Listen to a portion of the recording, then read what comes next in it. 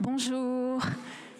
Je vous accueille tous, bienvenue. Et avant l'ouverture du conseil d'arrondissement, on vous a informé qu'il y aurait une petite prise de parole du conseil d'arrondissement des enfants. Donc je vais leur euh, laisser la parole d'ici euh, une petite minute. Je vois qu'ils sont en place.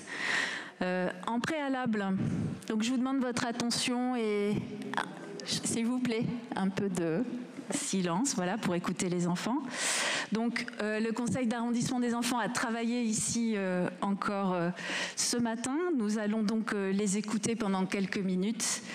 donc, je souhaite la bienvenue à Victor Skirou, Lena Iel Kaldi, Victor Monnoyer, Romy Spreux-Kremer, Rosalie Colère et Kauter Maatala.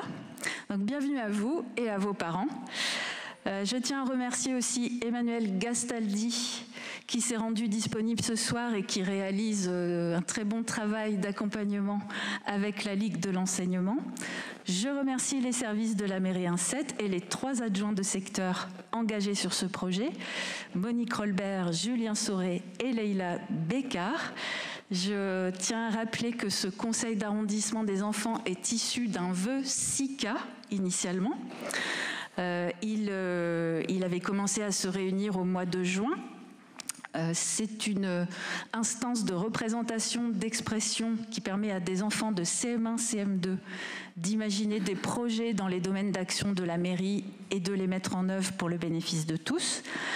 Dans le premier secteur, cinq filles et cinq garçons des écoles Perrin, Sainte Trinité, Chanterelle et Candolle ont été élus par leurs camarades, donc pour deux ans. Et donc ils se réunissent régulièrement en commission. Donc ces dix élus se répartissent de la manière suivante deux classes de CM1, CM2 à Chanterelle, une classe Perrin-Sainte-Trinité et deux classes Candolle. Euh, après euh, ces premières explications, je laisse la parole aux enfants que nous allons écouter avec bienveillance.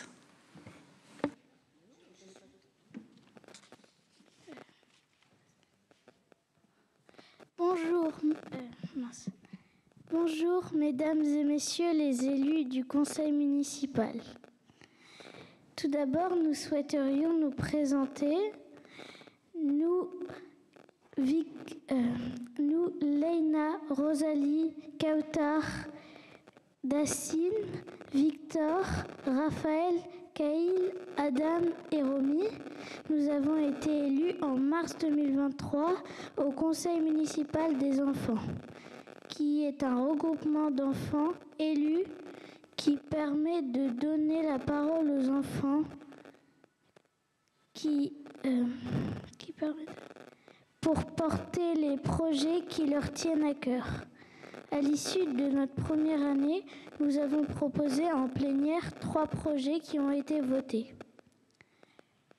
La rénovation des bancs d'école, le lien avec les personnes âgées et isolées, et une marche verte pour le nettoyage des déchets au Vieux-Port et à la plage des Catalans.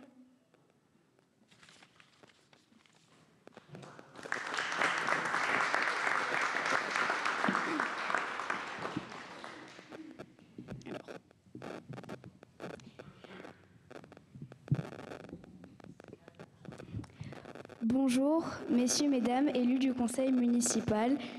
Nous aimerions mettre en œuvre en premier le projet des bancs d'école. Nous avons remarqué que les bancs de nos écoles n'étaient pas en bon état, ce qui ne nous permet pas de tous les utiliser. Nous avons donc échangé autour de ce projet pendant les commissions pour identifier les besoins de chaque école.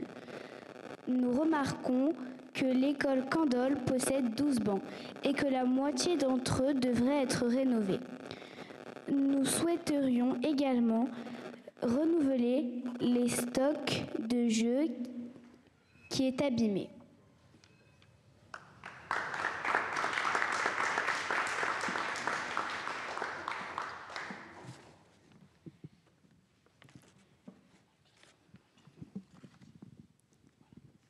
Bonjour mesdames, messieurs, les élus. À l'école Sainte-Trinité, il existe aussi 12 bancs. Certains n'ont pas de dossier et nous souhaiterions avoir des dossiers pour 6 bancs. Enfin, à l'école Chanterelle, nous possédons 16 bancs. Quatre seraient à rénover et nous souhaiterions avoir des jeux et des livres supplémentaires. Nous aimerions que notre travail améliore le temps de récréation et des pauses méridiennes de nos écoles.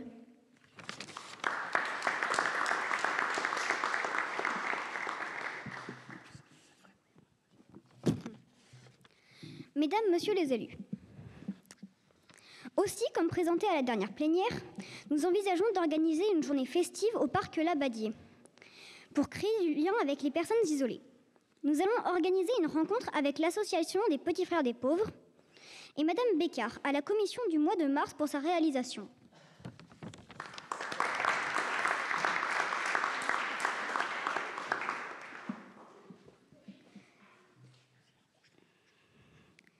Nous vous remercions de l'attention que vous porterez à nos projets. Nous serions ravis de répondre à vos questions si jamais vous en, vous en avez.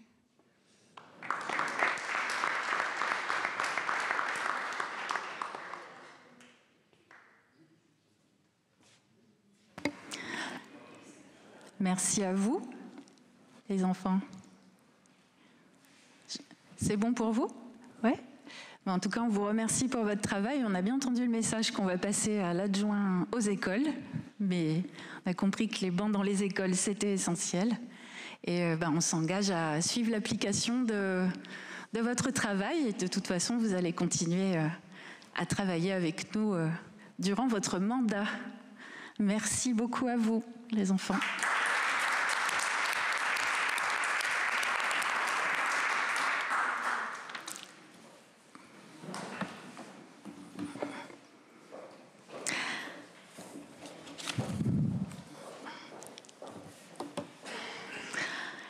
J'ouvre maintenant euh, la séance euh, publique du Conseil d'arrondissement. C'est donc la dernière de l'année et nous allons euh, délibérer, donner un avis sur 15 délibérations, mais auparavant, donc j'appelle le secrétaire de séance pour faire l'appel. Patrick Amico, Gilles Aspinas, Sébastien Barle, Leila Bécard, Loïc Bonnier, Isabelle Bordet, Enzo Branca, Philippe Kahn, Sophie Camard, Mathilde Chaboche, Jean-Pierre Cochet, Agnès Fréchel, Audrey Garino, Eva Grigilevich, Aïcha Gedjali, Malika Frité, Laurent Lardit, Marilyn Librecht, Giampiero Mancinelli, Zubida Megheni, Nicolas Mémin, Christian Pellicani, Younes Rifad, Virginie Roche, Monique Rolbert, Julien Soret,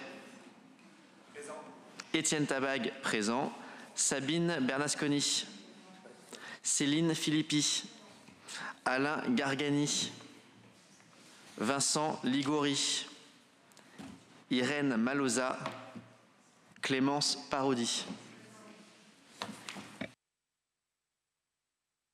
Pardon. Merci à tous. Donc, euh, j'ouvre donc euh, la séance. Y a-t-il des remarques sur le procès-verbal non, dans ces cas-là, je le déclare euh, adopté. On va. Madame la maire, pardonnez-moi, je n'ai pas reçu de mail. Justement, j'en ai parlé pour les commissions préparatoires cette fois-ci. Ah, euh, pourtant, on a tout fait comme d'habitude, on vous assure. rien reçu. Désolée alors. Euh, bon, vous verrez, il y a 15 rapports, ça peut aller assez vite, si ce n'est que quand même, c'est le dernier conseil d'arrondissement de l'année, comme je le disais. Il est donc adossé à un conseil municipal important qui va se positionner sur le budget de la ville de Marseille et le plan pluriannuel d'investissement 2024-2029. Et je, souhaitais vous en parler euh, en introduction parce qu'on y retrouve de nombreuses opérations d'investissement dans notre secteur, euh, que l'on va retrouver d'ailleurs par la suite dans certains rapports soumis à notre avis et sur lesquels euh, nous sommes associés en tant qu'élus pour donner des avis, soutenir ces projets ou travailler dessus en, réunion. Donc c'est la première fois que la ville de Marseille est, présente un plan pluriannuel d'investissement. C'est un énorme travail de, nettoyage des autorisations de programme qui a été fait. Et donc on aboutit à une PPI, un PPI comme on dit, de 1,9 milliard d'euros sur 6 ans, de 2024 à 2029, soit 320 millions d'euros par an en moyenne. C'est le niveau actuel des investissements de la ville avec un taux de réalisation qui euh, va en s'améliorant, puisqu'il est en train de passer de 70% à 80%. Donc on a 300 euh, projets euh, recensés dans cette, première version de la PPI sur 8 axes thématiques. Les écoles, bien sûr, en premier. Vous connaissez la priorité sur le plan école, 404 millions. L'environnement, la transition écologique, 360 millions. La solidarité, la santé l'inclusion, 318 millions, avec 91 millions d'euros euh, pour le logement. 198 millions d'euros pour les équipements de police municipale et les pompiers donc euh, sécurité, protection civile, 191 millions d'euros sur la culture et le patrimoine, avec l'arrivée d'une ligne euh, de 10 millions d'euros sur le patrimoine, l'entretien des monuments, 4 millions d'euros sur les fontaines, c'est quelque chose qui euh, nous manque souvent ici dans le secteur parce qu'on a beaucoup de monuments à entretenir. 170 millions d'euros sur les sports avec un plan piscine de 95 millions d'euros. 125 millions d'euros pour la modernisation de l'administration, 66 millions d'euros pour le cadre de vie, dont 18 euh, millions d'euros sur les commerces avec la création de la foncière tertiaire et des budgets pour euh, les préemptions. Euh, voilà globalement. Pour vous zoomer un peu sur notre secteur, outre l'école des abeilles et le centre sportif Scorsec qui vont nous être livrés en 2024, euh, et outre un volet d'investissement récurrent pour les CMA des mairies de secteur, je voulais vous indiquer un certain nombre d'opérations qui ont donc bien été retenues à la PPI. Donc ce n'est pas exhaustif, mais je dirais que ce sont des opérations sur lesquelles nous, les, élus, on s'est particulièrement mobilisés. La crèche Mission de France à Belzins, le campus Saint-Charles et la cité étudiante, la poursuite de l'aménagement de la plage des Catalans, les espaces publics du Frioul comme la plaine Hoche, la villa et le parc Valmer, le site antique Corderie, on va voter un, rapport sur le sujet aujourd'hui, l'ex-théâtre Bompard, dont il faut terminer les travaux, la suite des renaturations sur nos parcs et jardins, on est en cours sur Baignoire, Carly, le parc Longchamp, à Noailles, le lieu ressource rue d'Aubagne, l'ex-théâtre Masno et l'arrivée enfin de l'équipement socio-culturel euh, au domaine vente. Un gros volet culture, puisqu'on a beaucoup d'équipements culturels euh, dans notre secteur. Il va falloir réhabiliter tout l'opéra. On est en train de réhabiliter le théâtre du gymnase. Il faut sécuriser la criée. Il faut réhabiliter le théâtre Sylvain. On a euh, mis une ligne pour le, kiosque à musique et on a obtenu aussi euh, de pouvoir enfin engager la rénovation du Palais Carly. Donc ça, c'est les, locaux du conservatoire avec de très belles salles euh, qu'il faut réhabiliter. Et donc voilà un aperçu des opérations d'investissement dans notre secteur. Euh, en plus, évidemment, d'autres opérations qui seront euh, dans euh, des lignes plus globales et transversales. Donc cette liste d'opérations, elle va nous permettre maintenant aussi d'aller chercher des cofinanceurs, comme l'ANRU, c'est déjà le cas, la DRAC, l'État, le département, bref, tout cofinanceur qui peut être intéressé à participer à ces opérations d'investissement. Et je voulais euh, qu'on termine l'année dessus parce que ça nous a été un, grand travail euh, ces derniers mois de réaliser cette, euh, cette PPI qu'on est fier de vous présenter au Conseil municipal et qui, j'espère, fera consensus. Merci. J'ouvre l'ordre du jour en appelant le rapport numéro 1, Monsieur Pellicani. Madame la maire, chers collègues, juste une 30 secondes pour me féliciter de voir vivre les, vœux des ateliers SICA, puisqu'on a voté ce vœu. On le voit avec ces jeunes enfants que je félicite pour le travail remarquable qu'ils engagent aujourd'hui, qui nous interpellent sur des choses du quotidien de leur vie scolaire. Mais je crois que nos collègues élus, les vœux SICA ne vivent que si euh, les associatifs d'un côté s'engagent, l'autre côté les élus. Je voudrais remercier mes trois collègues, comme vous l'avez fait, parce que c'est important. Autrement, on a l'impression de, mouliner dans le vide. Et là, je suis assez content de voir que ce que j'ai pu faire grâce à vous, Madame la maire, prend corps aujourd'hui. Alors, le rapport que je vais vous présenter, il porte sur euh, quelque chose d'habituel euh, maintenant, puisque la, loi 9.1 de, de, 2000, 2000 fait obligation de donner la liste des personnes morales associatives qui reçoivent en, don, en nature, soit des locations, l'équivalent de location de locaux, soit du matériel. Et pour l'ensemble de la ville, on a un rapport conséquent. J'ai remarqué que les sommes variaient, la plus petite somme est de 8,39 euros et la plus importante, 166 320. C'est pour, par exemple, les locaux de Mars Attack. Et on est après dans des locations, gratuites de salles de classe. 8,39 euros, c'est vraiment des petites choses, mais ça montre la transparence dans l'action publique, ça montre aussi la vitalité d'un certain nombre d'associations de notre secteur aussi, puisqu'à l'intérieur, on retrouve une toute ou partie des associations qui ont le siège dans le premier secteur, mais qui mènent des activités sur l'ensemble de la ville. Et à contrario, on se rend compte qu'il y a des associations qui ne sont pas forcément domiciliés dans le 1 et qui mènent des activités dans des biens municipaux sur notre, nos arrondissements. Voilà. Donc ce rapport, il, fait simplement le constat qu'il y a des milliers, des dizaines de milliers d'euros, des centaines de milliers d'euros qui sont donnés en équivalent loyer ou près de matériel, ce qui fait que ça allège la trésorerie des personnes morales associatives et ça leur donne les moyens de développer complètement leur projet. Donc, Madame la maire, je vous propose qu'on vote ce premier rapport. Merci Monsieur Pellicani. Y a-t-il des contre Des abstentions? Oui. Madame la maire, chers collègues. Donc une demande d'intervention, si je comprends bien. Bonjour. Bonjour. Donc la traçabilité de la valorisation des mises à disposition est une excellente chose.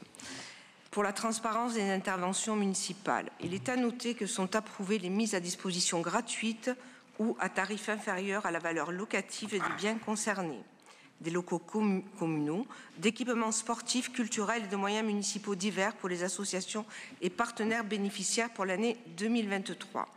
Cette valorisation à un montant inférieur au marché nous questionne. De plus, le soutien très orienté à certaines associations qui reviennent sur de nombreuses pages, lesquelles bénéficient également d'importantes subventions, nous appelle à la vigilance. Sans préjuger des évaluations du travail de chaque bénéficiaire, nous voterons donc contre cette délibération. Oui. Bon. moi, je simplement, j'appelle euh, nos concitoyens qui écoutent ce qui vient d'être dit à prendre acte du fait que vous ne soutenez pas le mouvement associatif dans sa globalité. Je ne vous dis pas merci, madame, mais je pense que vous avez tort. Oui, bah écoutez, tout à l'heure, je m'expliquerai différemment, vous verrez. Allez, allez, pas de tac au tac. Je prends les votes. Donc, on a noté votre vote contre. Y a-t-il des abstentions? Non. Et donc, avis favorable du Conseil sur ce rapport numéro 1. Le rapport numéro 2, Monsieur Tabag, sur les énergies renouvelables. Merci, euh, Madame la maire.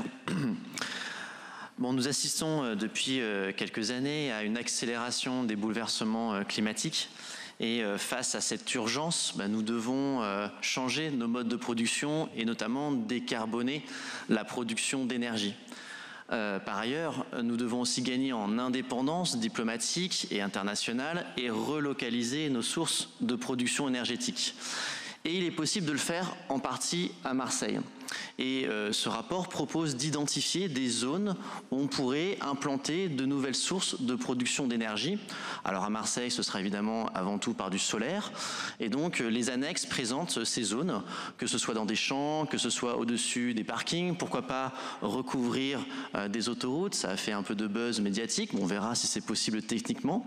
Mais dans un premier temps, on doit présenter ces zones à la préfecture pour obtenir ensuite des autorisations et ensuite, pourquoi pas, lancer des programmes qui permettront l'installation de ces unités de production euh, d'énergie renouvelable. Donc je vous propose de voter euh, en faveur de ce rapport qui nous permettra euh, de, produire plus d'énergie localement et donc de, de permettre aussi de faire des économies de manière budgétaire. Merci. Merci Monsieur Tabag. Y a-t-il des interventions? Madame Parodi. Madame la maire, chers collègues, Cette délibération ne parle pas d'éoliennes, elle brasse pourtant beaucoup de vent. Les objectifs présentés dans ce rapport sont parfaitement irréalisables, étant donné que la production des énergies renouvelables ne pourra jamais compenser celle des énergies fossiles. Vous le dites d'ailleurs, la ville de Marseille a établi des objectifs ambitieux dans sa stratégie Marseille 2030, objectif climat, visant à obtenir 36% de son énergie à partir de sources renouvelables d'ici 2030. Cela équivaut à une production annuelle de 2, 2500 J, euh, euh, gigawatts, pardonnez-moi, comparé au, au modeste 69 gigawatts actuellement produits. Pourriez-vous nous expliquer Comment fait-on pour passer de 69 gigawatts par an à 2500 gigawatts par an? Comment comptez-vous financer la mise en œuvre d'un tel plan sur des bâtiments communaux? Ne faut-il pas songer à éviter les fuites dans les salles de classe et les courants d'air avant de se lancer dans cette aventure? Comptez-vous contraindre les propriétaires du 7e arrondissement qui rénovent ou construisent à installer des panneaux solaires? Comptez-vous contraindre les indispensables opérations de réhabilitation de secteur du premier à la condition solaire, vous affichez une ambition considérable. Mais dans les faits, nous allons nous contenter de valider un joli dossier qui imagine un Marseille solaire hypothétique. Nous prenons donc acte du rapport et nous votons contre ce mirage solaire. Merci. Je laisse la parole à Étienne Tabag. Euh, merci. Alors, sur euh, ces remarques, évidemment, produire ces nouvelles sources d'énergie renouvelable, ça ne nous empêche pas évidemment de réduire notre facture énergétique par ailleurs sur nos bâtiments municipaux.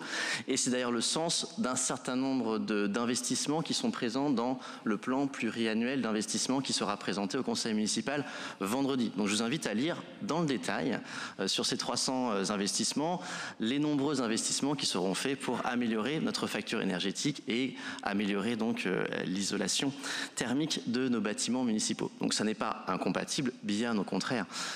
C'est très important de, de coordonner ces actions-là. Comment on va faire réussir les 2500 gigawatts par heure pour 2030. Euh, c'est un objectif qu'on se donne, c'est un objectif ambitieux et c'est un objectif qui a permis euh, de concourir et d'être retenu euh, par comme ville pour un objectif climat 2030 qui va nous permettre d'avoir de nouveaux investissements et de nouveaux financements sur les investissements qu'on va faire dans la ville. Et donc ces financements apportés par l'Europe permettront la réalisation de ces unités de production d'énergie renouvelable et donc, est-ce qu'on réalisera cet objectif très ambitieux de 36% d'énergie renouvelable d'ici 2030, ben, on s'y engage, on va faire notre maximum. Oui, c'est ambitieux, mais face à l'urgence climatique, il faut savoir être ambitieux et ne, ne, surtout pas revoir nos exigences à la baisse. Ça paraît difficile, mais on va se retrousser les manches et aller jusqu'au bout. Merci. En tout cas, moi, je suis très fière de ce rapport. Voilà, et que dans la première région solaire de France, euh, Marseille se lance enfin dans ce chantier des énergies renouvelables. Je trouve ça nécessaire, c'est finançable, c'est euh, enfin la bascule vers euh, voilà, une société neutre carbone dont on a besoin. Et je vous remercie d'ailleurs, Madame Parodi, d'exprimer des positions claires aussi, car les citoyens doivent savoir que le Rassemblement national ne croit pas en l'énergie solaire.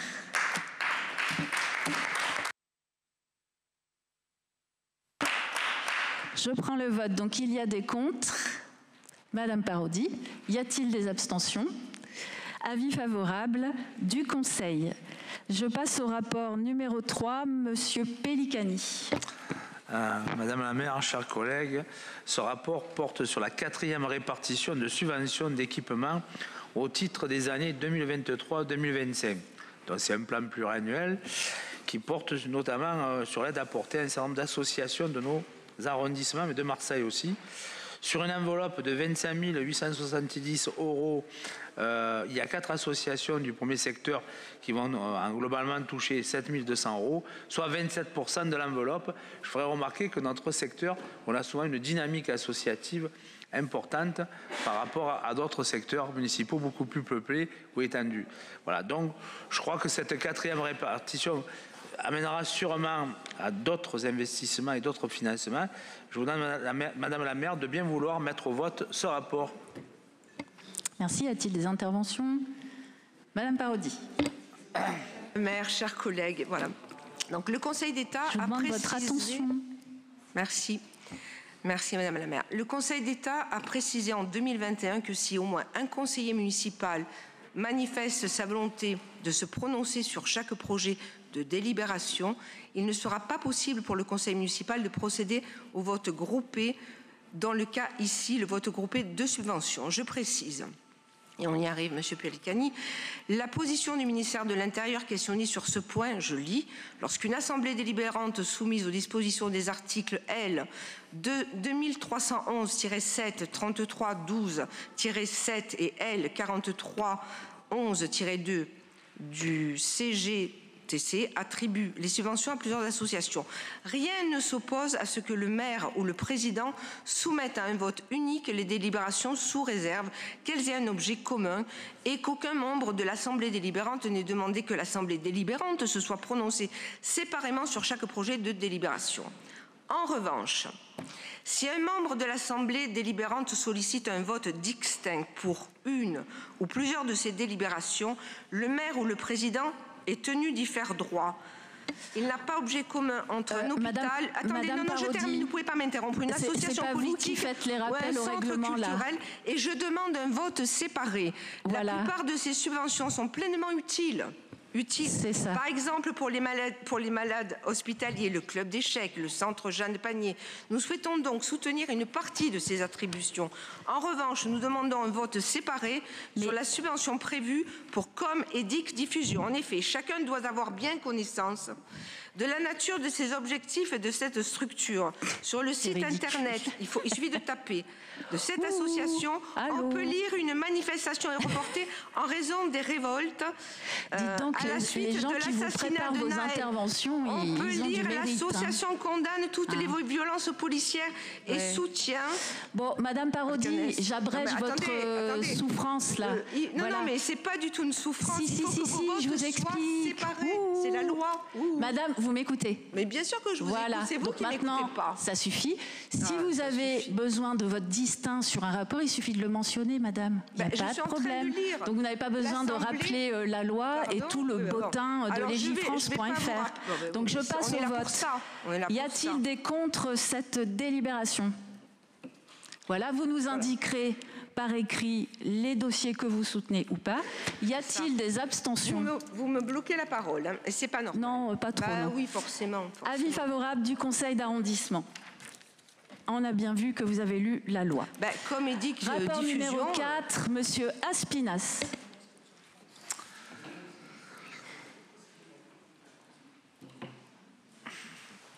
Ah, c'est un charge.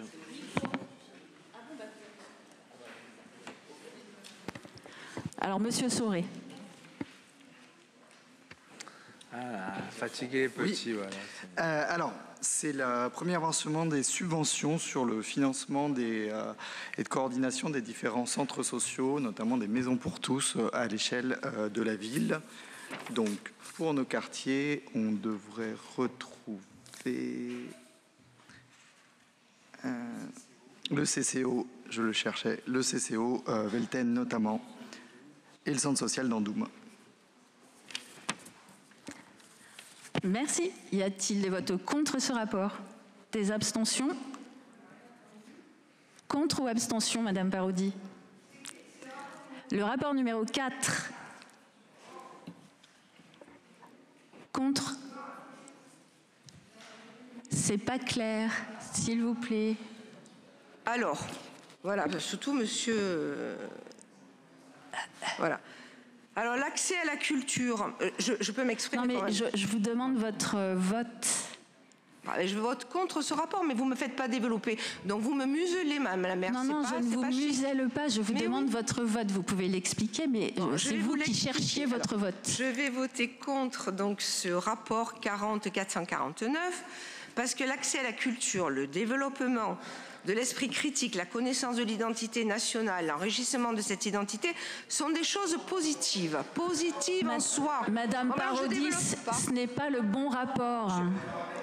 Allez. Euh, ben, c'est pour ça. Alors oui, parce que vous avez inversé l'ordre des rapports. Vous avez inversé tout l'ordre des rapports. Allez, on est sur le rapport numéro 4, soutien aux équipements sociaux 2024. Donc c'est le rapport numéro 2, je m'y retrouve, Madame la maire. Je prends les votes si vous voulez bien. Y a-t-il des contre? Des abstentions? Merci, voilà, Madame Parodi. Et donc avis favorable du Conseil d'arrondissement. Bah, évidemment, vous avez le rapport numéro 5, Madame Roche, sur les associations œuvrant pour la petite enfance. Vous pouvez couper votre micro, Madame Parodi Oui, bien sûr. Mais oui, c'est pour ça. C'est pour ça que ça marchait pas, que vous avez rien entendu. L'ordre des rapports au dernier moment, je n'ai pas été invitée au pas Non, c'est bien le 40. Alors, le rapport numéro 5. Euh, donc la ville de Marseille, en partenariat avec la CAF, souhaite confirmer son soutien financier aux établissements d'accueil du jeune enfant dont les parents sont domiciliés à Marseille, avec un budget 2024 en hausse par rapport à 2023 qui va permettre l'ouverture prévisionnelle de 170 places supplémentaires. Pour l'année 2024, nous conserverons donc le même barème d'attribution financière qu'en 2023, dont vous avez le détail dans le rapport. Pour ce qui concerne notre secteur, plusieurs crèches associatives et lieux d'accueil vont bénéficier de ce renouvellement de soutien. Ce rapport a reçu un avis favorable de la Commission. Je prends des interventions. Madame Parodi. Madame la maire, l'ensemble donc des actions conduites en faveur de la parentabilité, de l'assistance maternelle est une bonne chose pour nos familles et nos enfants. Dans ce dossier, le partenariat avec la CAF Qu'est-ce qu'il y a? Je peux pas, je peux m'exprimer, excusez-moi. Hein.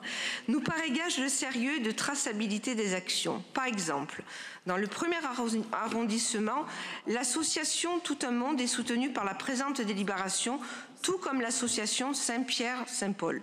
Madame la maire, pourriez-vous partager votre vision de l'action de ces structures qui œuvrent pour nos jeunes? Par ailleurs, il est indiqué dans la convention type que les actions financées par ces subventions sont destinées à des familles et à des enfants domiciliés à Marseille. Pouvez-vous nous indiquer si l'afflux de migrants clandestins conduit à la prise en charge de ces familles dans les centres? S'il vous plaît, s'il vous plaît, laissez-la s'exprimer, c'est intéressant en fait que ce soit dit. Dans l'attente de vos précisions, Madame la maire, nous voterons pour cette délibération, dans l'attente de, votre, de vos précisions. Merci. Alors, bah, je ne vais pas répondre à, vos sous-entendus malsains, en fait. Et donc, je passe au vote directement. Donc, y a-t-il des contre? Non. Des abstentions? Avis favorable du conseil d'arrondissement. Je m'abstiens dans la... J'attends vos, éclaircissements. Oui, c'est ça, oui. Alors, il n'y a pas de rapport le rapport numéro 6, euh, je le présente donc en l'absence d'Agnès Fréchel. C'est euh, un ensemble de rapports finançant la culture. Et voilà que je n'ai pas sous les yeux. Environ 700 000 euros sur 12 euh, conventions et 11 avenants, notamment la coopérative interne-externe pour notre euh, secteur et diverses actions soutenant des festivals de cinéma. Je prends les interventions au rapport, pardonnez-moi, 40 euh, 449. Hein. Voilà, c'est juste. Euh, donc, je, voilà. Euh, notre ville, bon, c'est sûr, on perd des théâtres, des lieux de création, des lieux de culture, mais nous soutenons la culture et je la soutiens. Nous comprenons certaines des subventions, par exemple celles dédiées à interne-externe, ou soutenues également par l'État, ou celles prévues pour plateformes parallèles. Mais globalement, nous ne pouvons pas accepter l'instrumentalisation de la culture à Marseille. Il vous appartient prioritairement de concentrer les moyens de la ville sur la mise en valeur de notre patrimoine historique et sur la valorisation de créations francophones. Donc nous voterons donc ce rapport parce que euh, L'actuelle majorité de la NUP de la ville et notre arrondissement considèrent que la culture comme un instrument de combat politique. C'est ce que je ressens en tout cas. Merci. Oui, oui, la culture est, une priorité pour nous, effectivement. Donc je le mets aux voix. Y a-t-il des contre Des abstentions Contre, Madame Parodi? Avis favorable du Conseil d'arrondissement. Le rapport suivant, donc le numéro 7 dans notre ordre du jour. S'il vous plaît, s'il vous plaît. Voilà. C'est un point important puisque ça concerne la valorisation des vestiges de la corderie. Et donc c'est un rapport qui présente un financement pour euh, enfin aboutir euh, sur ce sujet euh, épineux, long et qui a donné lieu à de nombreuses négociations entre la ville, la DRAC, la préfecture et l'État pour qu'on évite l'enfouissement total, tout du moins, qui était proposé. Donc, comme vous le savez, il y a eu donc un, projet de valorisation qui euh, va permettre quand même la mise en valeur d'une parcelle de 160 mètres carrés protégée par une ombrière donc sur site. Donc au final, le projet se déploie un petit peu en trois euh, parties, sur site avec une scénographie euh, qui permettra à la fois les visites guidées et, euh, donc qui permettra de, retracer l'importance archéologique et historique du site et qui sera ouvert au grand public pour les journées européennes du patrimoine notamment et toute l'année pour les visites scolaires. Aux abords du site, notamment dans le jardin, mais pour permettre à chaque euh, habitant de se réapproprier la connaissance euh, de, de ce témoignage historique. Et puis il y aura aussi tout un parcours au euh, musée d'histoire de Marseille. Voilà, donc en fait, ce qui est important ici, c'est de voter les crédits à hauteur de 380 000 euros pour accompagner donc ce, ce projet de valorisation des vestiges de la corderie. Bonjour Laurent, merci. Je prends les interventions. Monsieur Pellicani. Oui, Madame la maire, effectivement, c'est une avancée pour nous considérable que la mairie de Marseille ait obtenu de l'État le renoncement à tout enfouir sur le, site des vestiges de la corderie, le site antique. On a un deuxième euh, aspect très positif, c'est que les travaux que vous avez demandé, que la mairie de Marseille engage pour la réhabilitation complète du jardin de Saint-Victor, je dis jardin Nicolas, qui comprend le haut et le bas et toutes les parcelles qui étaient euh, sous-utilisées ou mal utilisées, voilà, donc je crois que la, question de, l'histoire, elle va retrouver sa place dans, cet espace-là, et on peut que s'en féliciter. Euh, Philippe Kahn. Madame la maire, chers collègues, ben, je suis ravi du déblocage de ce dossier. Effectivement, comme l'a rappelé notre premier adjoint, ça va vraiment nous permettre de, débloquer euh, la situation sur le petit jardin Saint-Nicolas. On va en créer, euh, vous l'avez certainement, ceux qui se promènent un peu dans le quartier ont vu que des fouilles archéologiques ont déjà démarré. Donc on attend le, diagnostic de ces fouilles archéologiques pour engager des, travaux euh, considérables pour créer un, magnifique poumon vert dans, ce quartier. Et grâce au déblocage de ce dossier, on va pouvoir, pouvoir euh, y arriver très rapidement, très prochainement. Merci de voter donc euh, positivement, favorablement pour ce rapport. Merci. Euh, je passe au vote. Y a-t-il des contre ce rapport? Des abstentions. Madame la maire? Bah, levez la main pour intervenir. Voilà, je vous remercie. Donc, je me souviens, en 2018, nous, nous combattions ensemble, disons, hein, pour, ce, pour les vestiges de la corderie, je m'en souviens très bien. Donc la corderie ou le renoncement à notre patrimoine le plus ancien, Madame la maire. Il nous est demandé de voter la valorisation de 160 mètres et donc de valider l'abandon par enfouissement du reste des 636 mètres carrés protégés. Nous avions là un témoignage unique de la période antique à Marseille. Est-il regrettable de ne pas s'être battu pour, pour le sauver dans son intégralité? Cela ne m'étonne pas de votre majorité car c'est un passé qui ne vous intéresse pas. Est-il possible que la Grèce, berceau de la civilisation européenne et de la démocratie, ne vous passionne pas? Pourtant, selon le spécialiste de l'INRAP, Philippe Mélinan, excusez-moi, je vous demande, elle n'a d'ailleurs que peu d'équivalent dans ce monde grec. Pourtant, Jean-Luc Mélenchon lui-même avait signé comme nous la pétition de 1600 contre la destruction du site. Pourtant, Jean-Claude Gaudin s'engageait pour qu'un accès large au public soit assuré sur les 635 mètres carrés. Pourtant, l'opposition de gauche que vous étiez avait estimé qu'il s'agissait d'un carnage patrimonial. Je m'en souviens très bien. Chers collègues, la délibération proposée limite les visites aux seules journées du patrimoine et aux scolaires.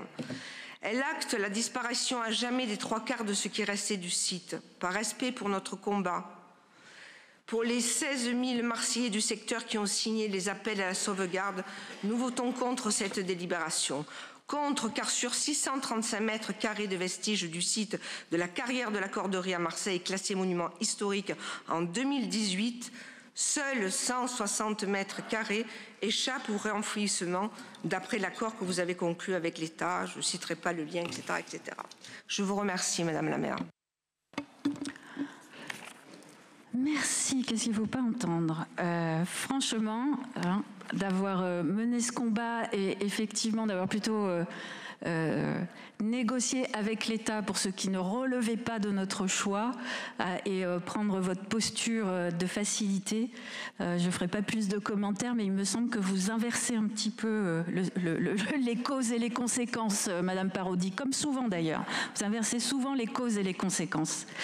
Euh, donc je passe au vote sur euh, ce rapport. Y a-t-il des contre? On l'a noté, ça aurait été tellement bien de tout enfouir. Abstention pour moi, s'il vous plaît. Et abstention pour Madame Bernasconi. Euh, et donc avis favorable du Conseil d'arrondissement. Rapport numéro 8, Monsieur Sauré. Oui, donc c'est le rapport 40-471, Madame Parodi. Donc ça permet de faire un euh, rapport qui permet de faire une petite information euh, aussi aux habitants. Donc pour rappel, c'était un, dossier qui avait un peu euh, qui était un peu ressorti à, la fin de, l'année scolaire dernière. Donc c'est sur l'école des abeilles, pour être plus précis sur l'extension de l'école qui est l'ancienne annexe qui est sur la rue des abeilles.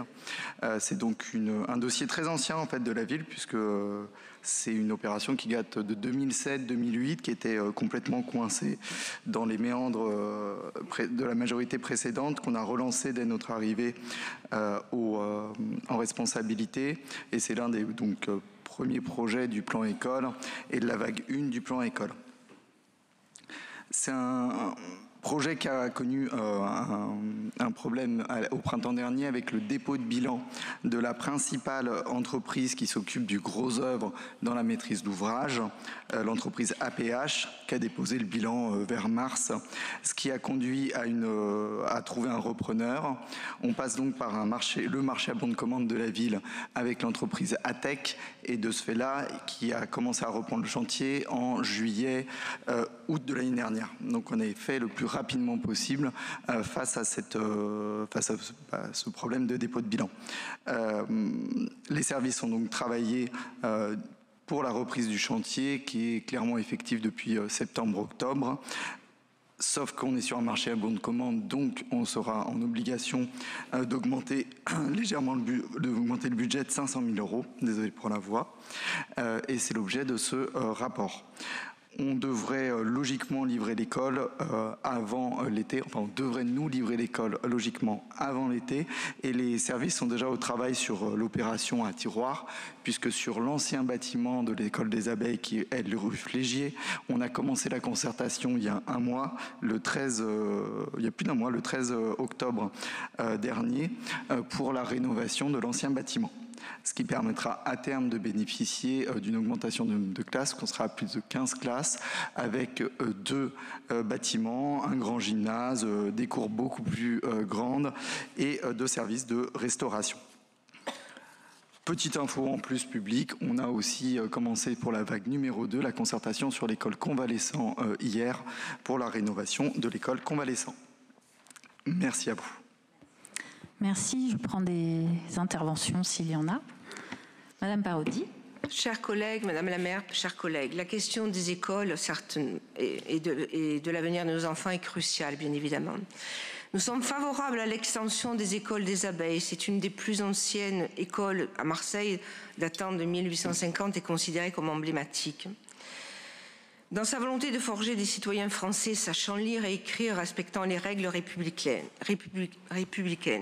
nous soulignons néanmoins la non-maîtrise d'un dossier engagé en 2020 et toujours en cours en 2024.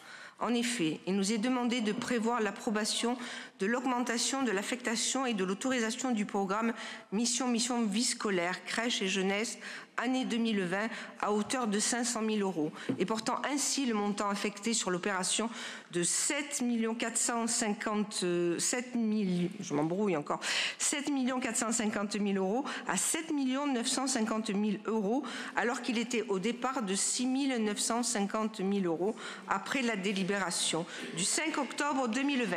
Par ailleurs, il est étonnant de ne pas s'être aperçu des difficultés que rencontrait l'ASAS APH dans l'exécution de sa prestation de désamiantage, de démolition, de gros œuvres et d'étanchéité, alors que cette dernière était en cessation de paiement depuis le 31 décembre 2022, d'après le jugement d'ouverture d'une procédure de redressement judiciaire en date du 13 juin 2023. Plus globalement, chers collègues, il est évident que les grands effets d'annonce sur le grand plan école et, de, et ces 1 milliard d'euros n'est pas tenable. Je cite là des propos de votre adjoint aux finances dans le document du budget primitif. Il ne faut pas mentir aux parents d'élèves aux familles, malgré les belles promesses d'un printemps 2020, à la fin du mandat, vous n'aurez pas conduit la moitié de vos engagements dans nos écoles. Vous allez produire un groupe scolaire en quatre ans, celui des abeilles. Comment comptez-vous réussir à en faire 150 dans les deux ans qui vous restent au niveau de la ville? Pour toutes ces raisons, nous nous abstiendrons. Merci. D'autres interventions Juste pour précision, oui, Monsieur Il y a eu cinq écoles sur, le, sur la première vague. C'est le seul chantier sur lequel on a une entreprise qui fait faillite c'est quand même une exception et ça, une situation exceptionnelle, pardon, une entreprise qui fait faillite. Et nous, on ne peut pas savoir préjuger avant euh, le début des travaux quelle va être euh, la situation financière d'une entreprise. Au contraire, il faut les soutenir le plus possible, nos entreprises locales et ou des Bouches-du-Rhône, puisque c'est une entreprise des Bouches-du-Rhône.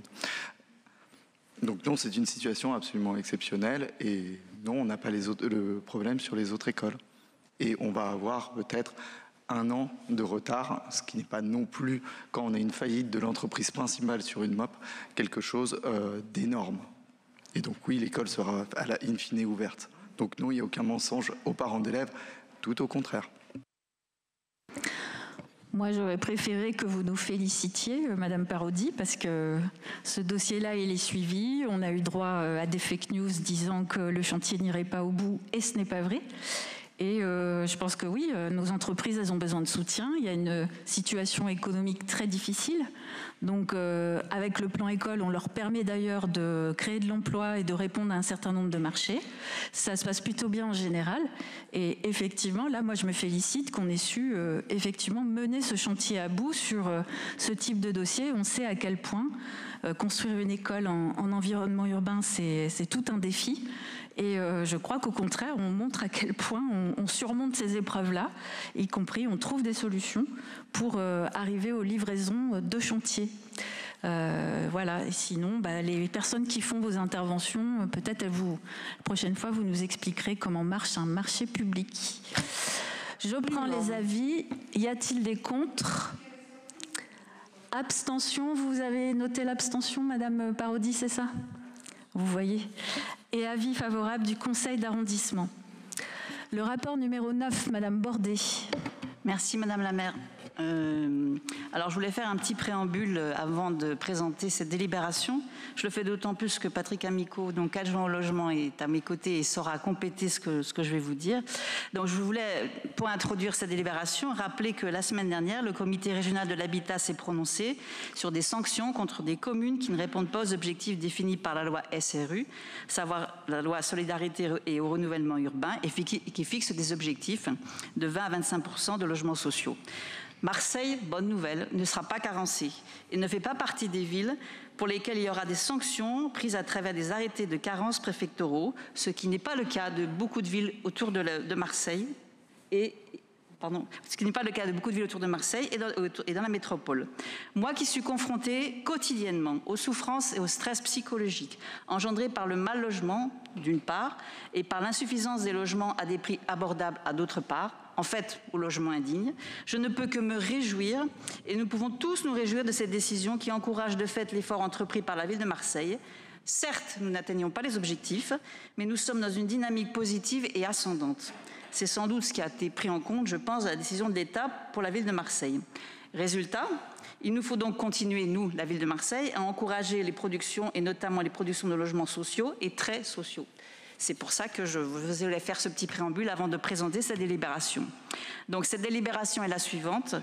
La ville de Marseille ayant fait du logement une grande cause municipale euh, se dote d'un nouveau cadre d'intervention pour dynamiser la production de logements sociaux en, cas d'acquisition, d'amélioration de l'existant, ce qui sera le cas de ce que je vais présenter, restructuration de logements existants, innovation sociale, notamment dans les pensions de famille et l'habitat euh, inclusif, production de logements PLAI, c'est-à-dire très sociaux, soutien de projets d'acquisition foncière par l'EPF, c'est-à-dire l'établissement public foncier, PACA. C'est à ce titre qu'est proposée euh, une attribution de subvention pour la réalisation de deux opérations dans le grand centre-ville, dont une qui concerne le premier. Et donc, il s'agit effectivement d'une ICIL, donc, euh, qui va euh, rénover quatre logements, donc PLAI, donc très sociaux, entre la rue Méolan et la rue d'Aubagne, on ne peut que s'en féliciter, et qui va restructurer un R 5 en 4T2. Il faut souligner qu'étant soucieux d'une rénovation plutôt que d'une démolition dans le cadre du respect patrimonial de la ville, cette opération coûte assez cher. Aussi, la ville propose de financer une subvention près d'Unicil pour un montant de 104 000 euros sur 768 058 TTC, afin d'aider à la réalisation de ces quatre logements très sociaux. Voilà, un autre programme euh, est concerné dans le quatrième, mais euh, nous, ce qui nous concerne, c'est dans le premier. Donc moi, la, Commission a donné un avis favorable à cette délibération qui va permettre d'avoir de nouveaux logements PLAI rénovés dans le grand centre-ville et, entre autres sur la rue d'Aubagne. Merci Madame Bordet.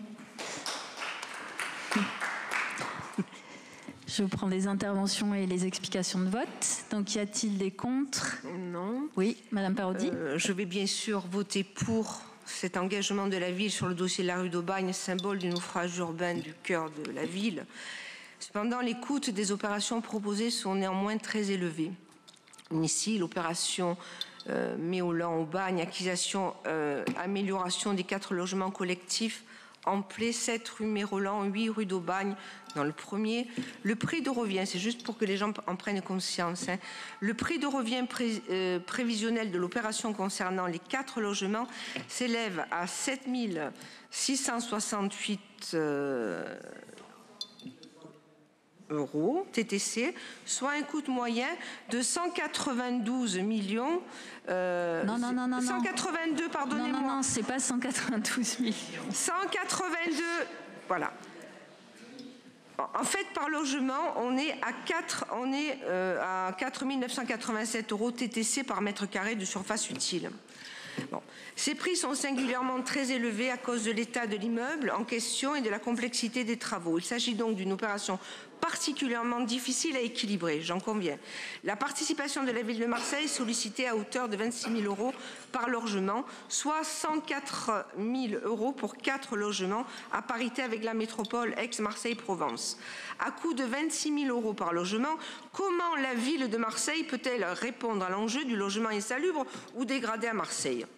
Enfin, il est clair pour nous que ces futurs logements payés essentiellement par les fonds publics de l'argent du contribuable doivent être exclusivement affectés à des familles de citoyens qui travaillent et qui contribuent à la solidarité nationale. C'est tout. Voilà. Ben oui, mais bon, il faut le dire. bon. bon. Allez, Patrick, amico.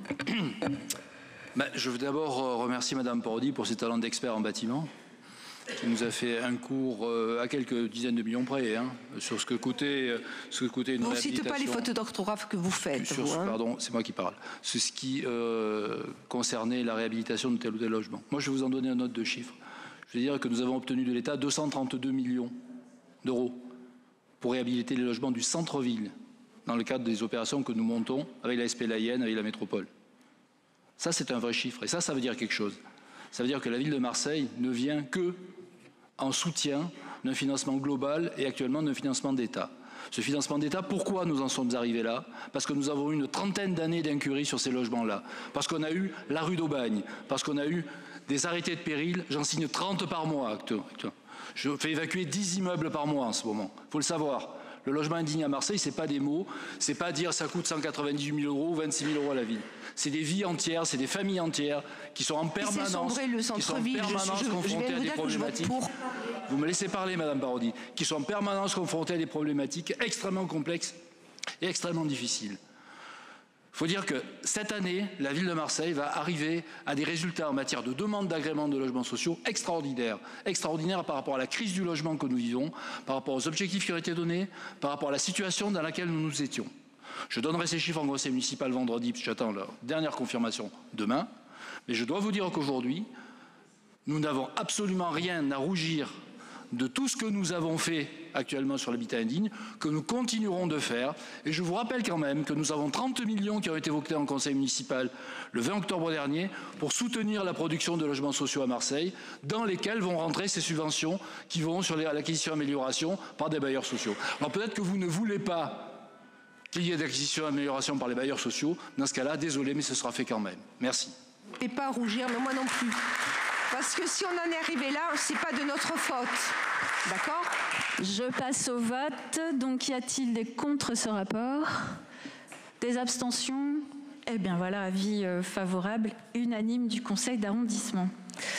Euh, ce qui fait la transition vers le rapport numéro 10 que je vous présente, alors là, qui est le cas d'une réhabilitation privée, justement, parce qu'il n'y a pas que des réhabilitations euh, publiques et qui montre qu'une réhabilitation privée, c'est aussi très difficile à faire.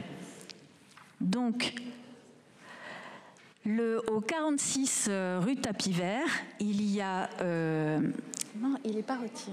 Voilà. Donc, au 46, non, non, il n'est pas retiré. Au 46 rue Tapis Vert, il y a. Madame le maire, on, nous a dit que ce rapport était retiré. Oui, mais, mais du coup, on n'a pas travaillé dessus, donc c'est compliqué de le remettre Je, je vous le laisse euh. quand même pour avis, et je pense qu'il n'est pas forcément mais ça veut retiré. dire quoi que vous allez Ben non, il est écrit retiré sur l'ordre du jour et barré. Non, on va le, on le, je le soumets quand même pour avis, étant donné qu'il n'est pas forcément retiré à, ce- à cette date. On est d'accord qu'on a bien reçu euh, un ordre du jour avec le rapport Oui, retiré. mais il arrive de même d'avoir des rapports additifs que des rapports, voilà, qui soient une modification d'ordre du jour. Donc je veux le soumettre quand même pour avis. Je préfère soumettre pour avis que éviter de soumettre pour avis, de ne pas le faire. Mais moi, je préfère travailler euh, et Mais vous devriez prendre le temps connaître ce de poser dossier, des Madame questions. Bernasconi. Mais que c'est bien parce que Parce je le que ça fait bien. longtemps qu'il existe. Exactement, et, Voilà. et je pense que certains témoignages euh, qu'on aurait pu apporter auraient été savoureux. Voilà. Et peut-être que, que vous préférez du coup d'autorité euh, mettre en place, enfin, euh, présenter ce rapport. C'est pas très fair-play. Bon, bah, c'est comme vous voulez. Je pense que si je l'avais pas présenté, vous auriez dit l'inverse. Donc, au 46 rue Tapis Vert, il y a donc une SI qui détient un logement en péril. Et c'est un dossier euh, très compliqué suivi par les services de la ville puisqu'il est encastré euh, au niveau de, la parcelle mitoyenne qui est celle du 44 rue d'Aubagne, donc euh, qui est un bâtiment religieux. Donc pour mener à bout un projet de réhabilitation sur le 46, il y a tout simplement un nettoyage cadastral en fait qui est nécessaire à faire et euh, qui concerne une surface d'environ euh, 46 mètres carrés ainsi que des servitudes d'accès. Et donc ce rapport vous présente euh, l'état technique du dossier pour mener à bien cette régularisation euh, cadastrale. Voilà, tout simplement.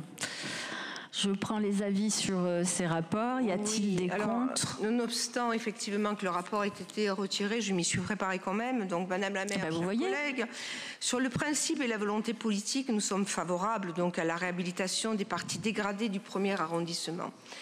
À l'évidence, la rue Tapis Vert fait partie de ces secteurs à rénover.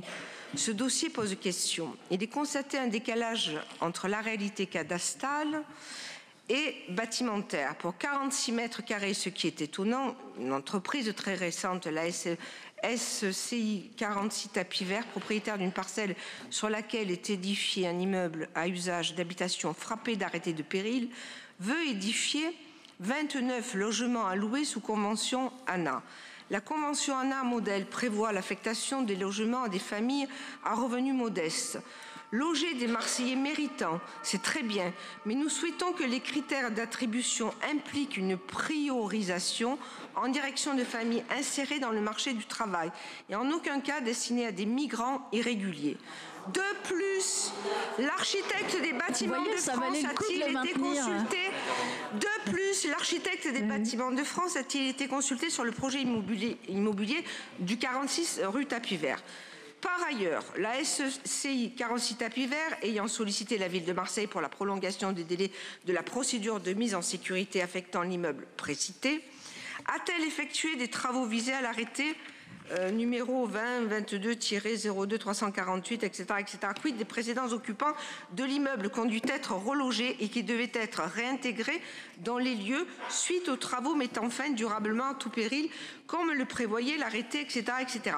Alors, Étant donné que je vous remercie d'avoir porté euh, ce, rapport, donc dans l'attente d'une réponse précise, parce que c'est quand même assez nébuleux à ces questions, nous voterons contre, contre cette délibération si vous la mettez au vote. Mais ça mérite d'être précisé quand même.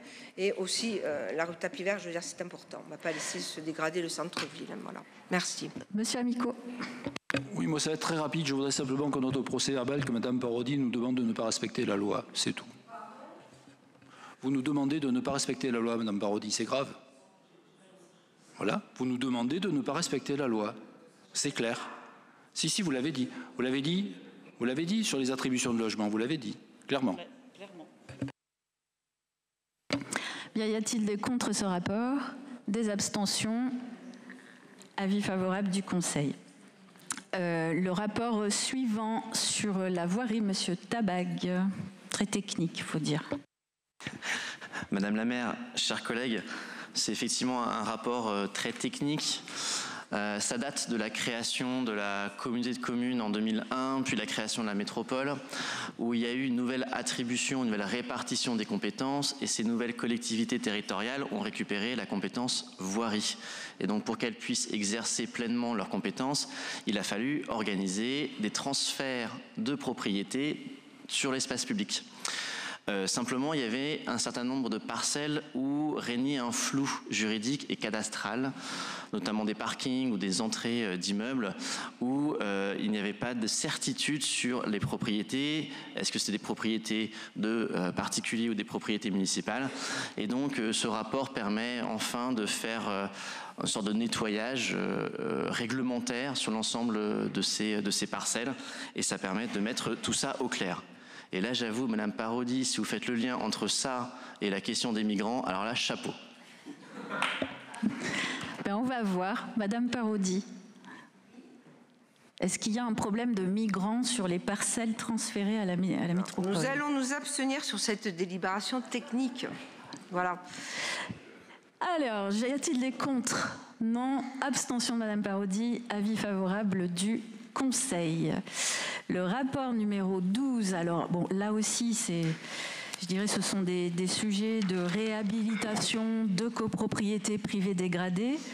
Euh, le rapport montre d'ailleurs à quel point c'est long et compliqué, puisque c'est des dispositifs qui durent euh, depuis euh, des années parfois. Et là, c'est tout simplement des prolongations de délais pour mener à bien des travaux, donc sur trois copropriétés. Donc c'est du financement ANA, hein, c'est pas euh, voilà. Et donc c'est le 4 rue Mazagran et le 49 rue Francis Davso euh, dans notre secteur. Euh, y a-t-il, c'est assez technique là aussi. Y a-t-il des contre, des abstentions? Madame la maire, chers collègues, ce rapport illustre la malheureuse situation de notre ville. Une grande partie de notre premier arrondissement Quel est votre vote? se dégrade. De notre tant il est soumis à la pression migratoire et ça va vous énerver encore. Ah. On y arrive. Bon, Donc, Madame attendez, vous allez être surprise, chère Madame la maire. Encore une fois, il y a un océan hein. la Méditerranée entre les, les intentions de 2015. C'est une obsession à ce niveau-là. Je veux juste savoir où est l'avancement du programme des 83 immeubles, concrètement. De quoi vous parlez? Bon, c'est pas le but du rapport. La prochaine fois, vous viendrez en commission pour poser ces questions. La prochaine fois, vous m'enverrez. Je prends votre vote. Hein. Je suis, je Allez, suis donc vous irez parler des migrants en commission la prochaine fois. Je suis pour cette délibération, d'accord? Merci. Donc, y a-t-il des abstentions? Non. Avis favorable du Conseil. Le rapport numéro 13 donc euh, celui-là, il va être aussi assez technique, mais le sujet, il est important. Mais euh, il y a déjà eu une délibération du Conseil municipal le 20 octobre 2023 pour approuver la convention euh, avec l'ANRU, entre la ville et l'ANRU. Donc dans cette convention, d'ailleurs, je rappelle qu'il y a 510 millions d'euros pour la ville de Marseille et toute une partie pour le centre-ville, ce qui est assez d'ailleurs original puisque l'ANRU a accepté de mettre 100 millions d'euros dans la société publique d'intérêt national pour réhabiliter des centres anciens de centre-ville, donc ce qui est assez euh, nouveau.